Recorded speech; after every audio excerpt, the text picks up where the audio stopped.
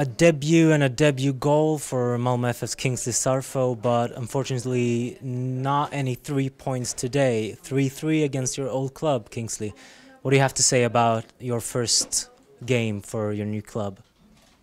Uh, well, it was a fantastic game. Uh, I mean, uh, we should have uh, won this game, but uh, also it's football, so uh, I mean anything can happen. So we keep our head up and we look forward for the next game. So I think it was fantastic game.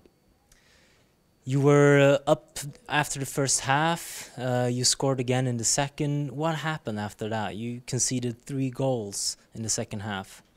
Yeah, as I said, I mean it's football. Uh, nobody knows what is going to happen. Uh, there is a mistakes on field uh, as well. So, I mean, I don't know what happened though. But um, what I could say and what what I could. Um, uh, what I'm thinking of is uh, I think we should we should um, do the right thing all the time on the field, uh, and we should keep our we should learn our mistakes on the field, and we keep up with the with the next game. So we focus on the next game and keep our head up.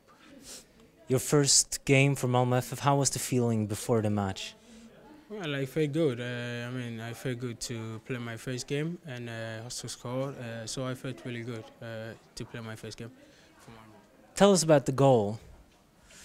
Yeah, well, I was uh, always thinking uh, in the box. always wanna looking for the first first um, when the, I'm looking for the second ball always. So when uh, he got a ball and uh, I caught him back and uh, he tried to give and it was by deflection so I was on the right spot to shoot so then uh, it went in.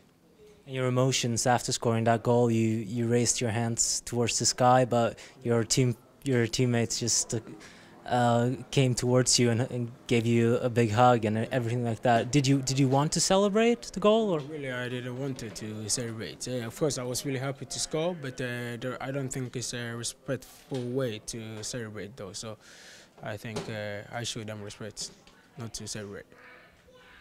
Thanks. Thank you very much.